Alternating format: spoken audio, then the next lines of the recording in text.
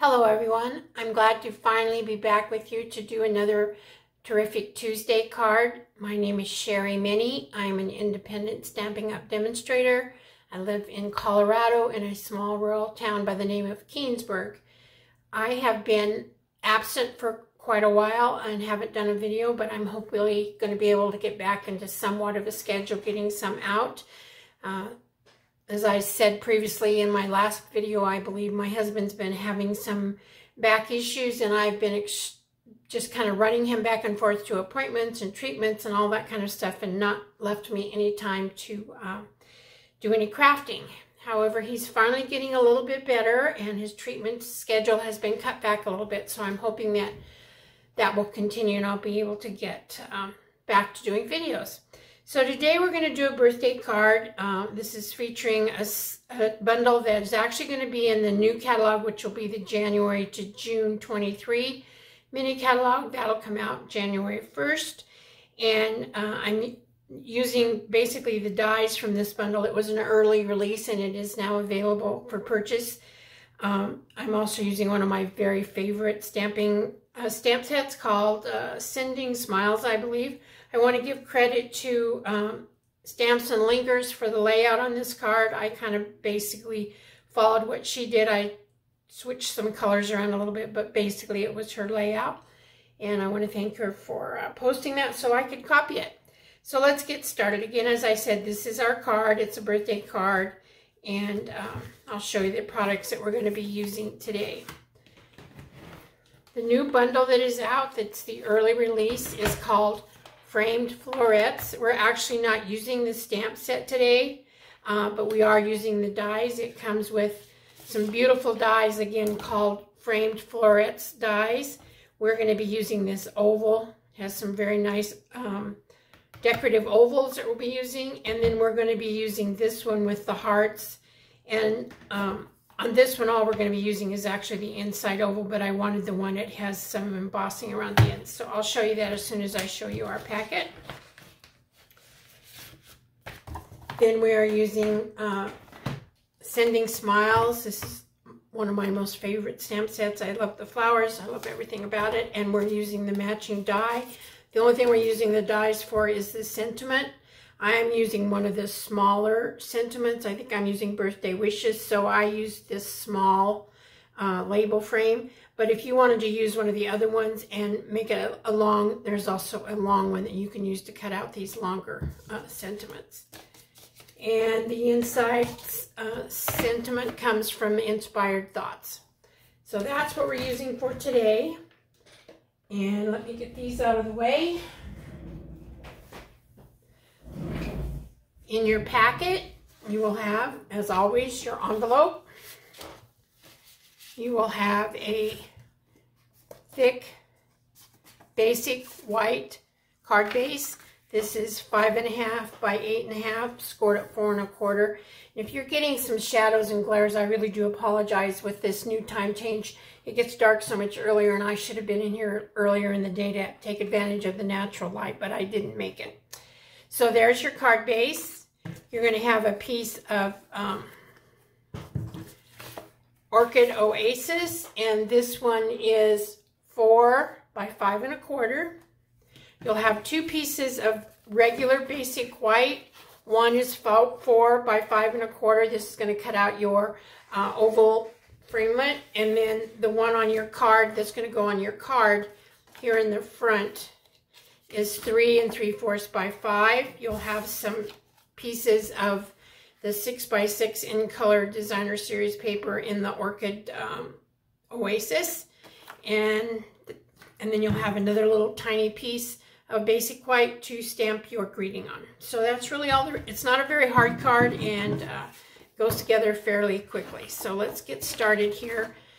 First thing we'll do is fold our card base on the, I, I emboss all my, or I sorry, score all of my cards bases so that I can get a nice flat fold in the middle. And then I think what we'll do, we'll go ahead and work on our did our get all our stamping done first, okay? So first of all, we're to take our Orchid Oasis, and that's what we're going to stamp our greet the color we're using for our greeting. And since this is a photopolymer stamp set, I'm using a little bit of an extra cushion under it. And we will get that stamped. Like so. And what's going to happen, you're going to take the framelit and cut it out, the little label framelit. I'm sorry. And you'll end up with something that looks like that. Okay. Then we're going to do, um, we're going to work on our inside of our card. And I have my inside greeting on a Stamparatus. I'm sorry, this is probably going to be a little bit of a rough video. I haven't done for so long. I got to retrain myself. So here we go. I'll put my ink over there. We will take this, set it right here. I like to put something under the lid here just to make it one level so that when I'm inking it up, it um, works just fine. Nice and level. That way you can ink it without too much issue. Okay. And we're going to put that down. I do have a new Debbie tool that I'm leaving in here all the time so I don't forget it. This one is a pretty sparkly one. It's got lots of little beads and so forth on it. Probably made you really dizzy there doing that. All right, and there's that. So that's all taken care of. Now we're going to take, uh, we'll take one of the pieces of, the other piece of four and a half by five um, basic white cardstock. And what we'll do is we will take the framelit, which I put away. Let me grab it.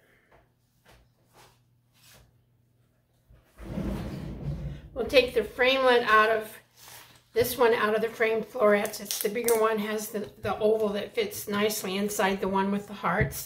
And we're going to lay it on our paper, run it through our uh, and Cut and Emboss machine. And when you do that, you end up with something that looks like this. So you have your um, oval center that we're going to use to stamp on. And then you have this nice little frame that I'm saving and we'll be doing a, another type of card making use of these um, die cuts. So we're done with that. I will put it back so I don't lose it. It's nothing worse than losing a framelit and you, or a die and then you have to buy a, another whole set of dies. And while we if I had my Stamparatus here, or I'm sorry, if I had my Stampin' Cut and Emboss machine out, I would take the other piece of basic white. Oh, I just realized what I did. I stamped this on the wrong thing, so I'll have to stamp that over. I would take this. This is the one with the hearts. I would lay it on here, center it, try to get it straight. Ovals are hard for me to get straight. I don't know why. And then run it through. And when you get that run through, what you have is this pretty piece that's going to be on the front of your card and this it's going to go on top of here so you can see that pretty lavender color through there. Let me once again put these away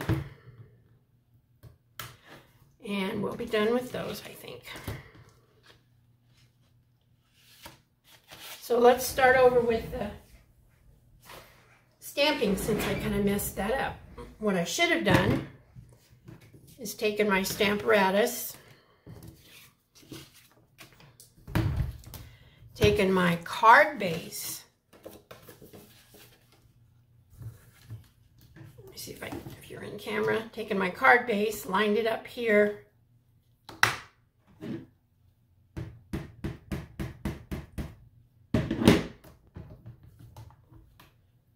Stamped directly to my card base since it's white. I don't have to waste another piece of white cardstock. Okay, that's what I was supposed to do. All right, this time we are done with this.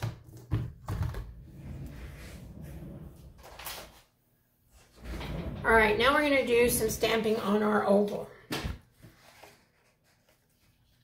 So you probably cannot even see this on the camera, but it has a very um, little bit of an embossed edge on it with the little lines, and that's kind of what I was wanting to use.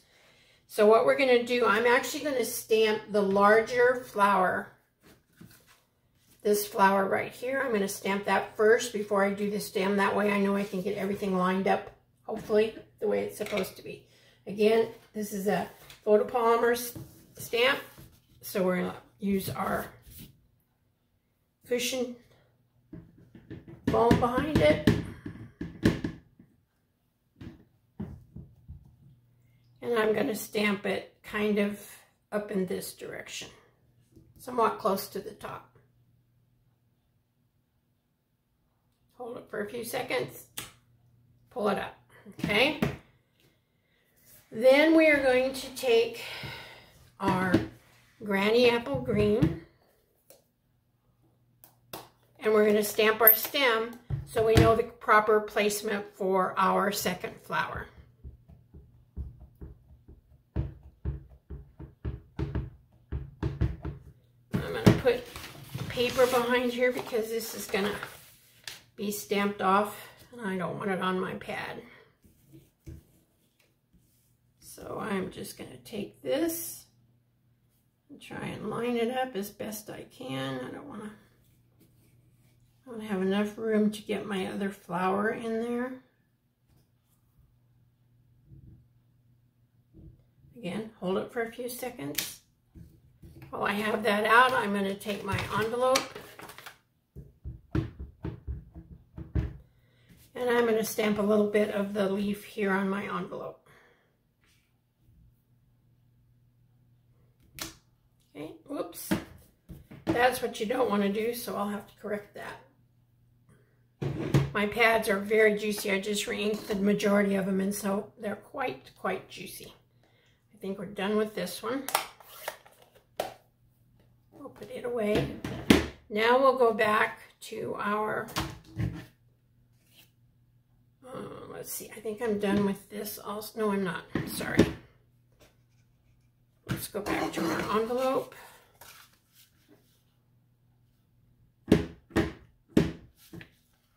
And we'll stamp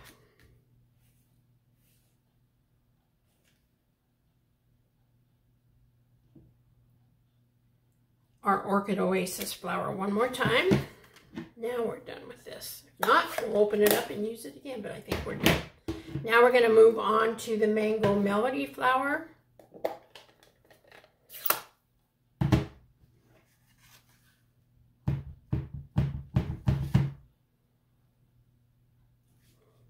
These flowers have some pretty obvious places where you can tell that it's got to, supposed to have been the, um, where it connects with the stem.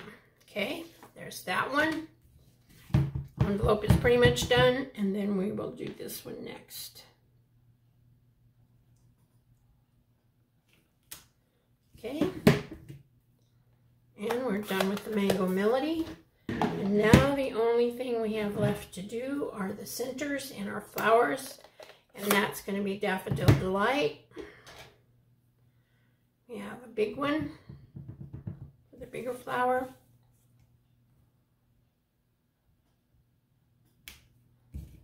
I'll do my envelope at the same time so I can...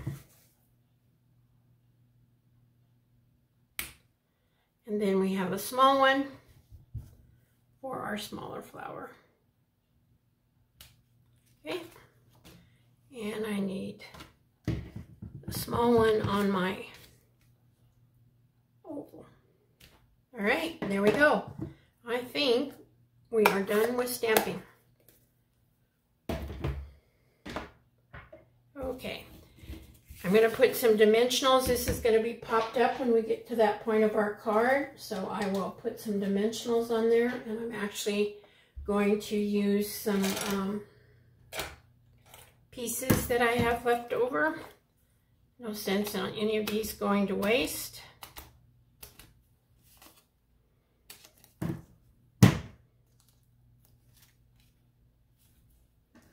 And I did put quite a few just because you know me, I don't like my card to sag. And so I do not spare on the dimensionals. That's one of the reasons why I use every little piece that I can so that I don't waste any of them.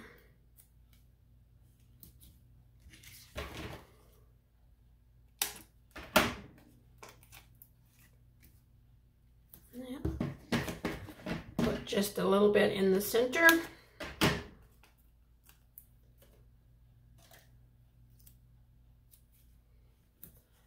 The other thing that needs some dimensionals is our little um, birthday wishes. And on for that, I'm going to use the mini dimensionals. Um, I use these quite a bit, and I don't seem to have a pokey. Oh, yes, I do.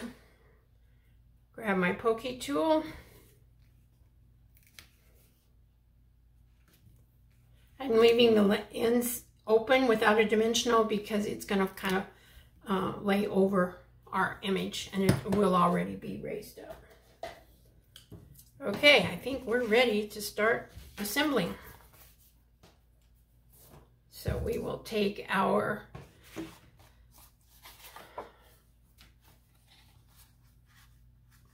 heart-shaped piece, or heart frame, uh, oval. I'm going to put a little bit of liquid glue on it not on the hearts, just on the edges.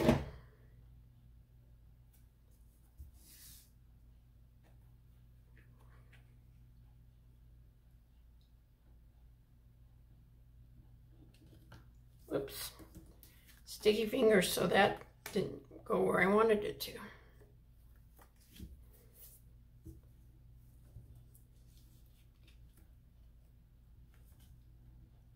Not the straightest I've ever done, but it's okay. Okay, and then I'm going to take my um, Stampin' Seal.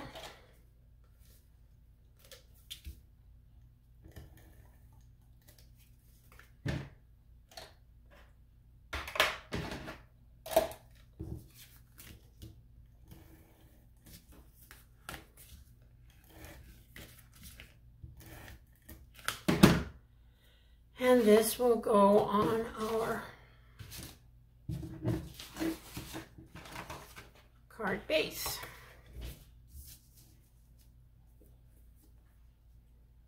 Try to get it somewhat even. I'm not, I'm out of practice. Always takes me a little while to get my eye adjusted to the borders and what's straight and what's not. Hopefully it's not ink that I just got on there. Where is my, where is my sticky, my adhesive eraser? Everything is all messed up in here. There we go. Okay. And then we'll take this, take the backings off of our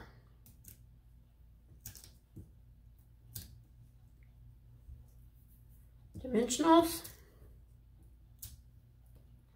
I hope you've all been doing well. I've been well, thankfully, but just so busy running around and trying to keep up with my husband's treatment schedule and the other things that are going on in my life with church and everything. So it's been a little bit of a crazy, a crazy time, but I'm thankful that he's getting better and trust me, we could be so much worse. So now I'm just going to kind of center this in that oval as best I can.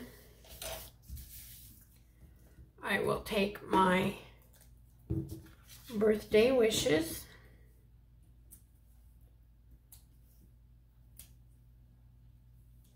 Put it on the front. And what I did is I kind of uh, tried to balance it by having the same amount of this label on each on each side. And then I just stuck it on there. And then we have to finish up our inside. So I have a piece of 6x6 Designer Series paper in the Orchid Oasis.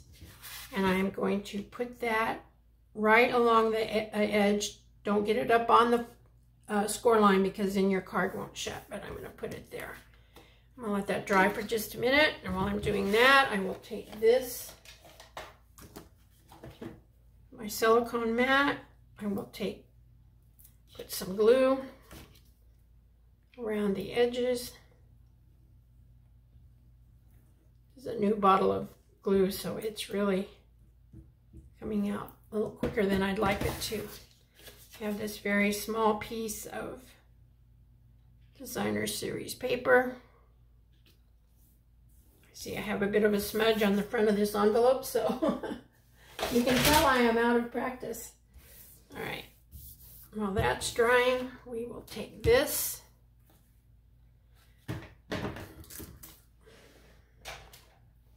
We'll take our scissors. Trim that off. Trim that off. And there is our card. With the exception of our little brushed butterflies. These are um, come in a packet like this and you get quite a few, a couple of different sizes. Uh, I'm only, I only have the larger ones left to finish out this packet, so that's what I'm going to use. So I just took one and I put it you can really put them wherever you want. I chose to kind of put them up here.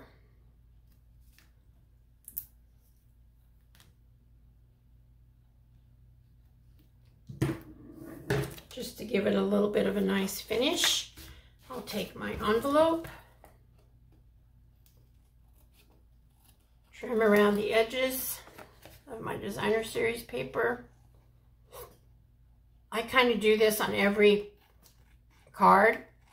It helps me, I think it really dresses up the envelope and it also helps me use up my designer series paper because a lot of times I have so much of it and I don't use it like I should. I Sometimes I don't even want to cut them. They're so pretty, but that doesn't make much sense. So I'm trying to uh, use up as much of it as I can. So don't look at the little smudge on the envelope.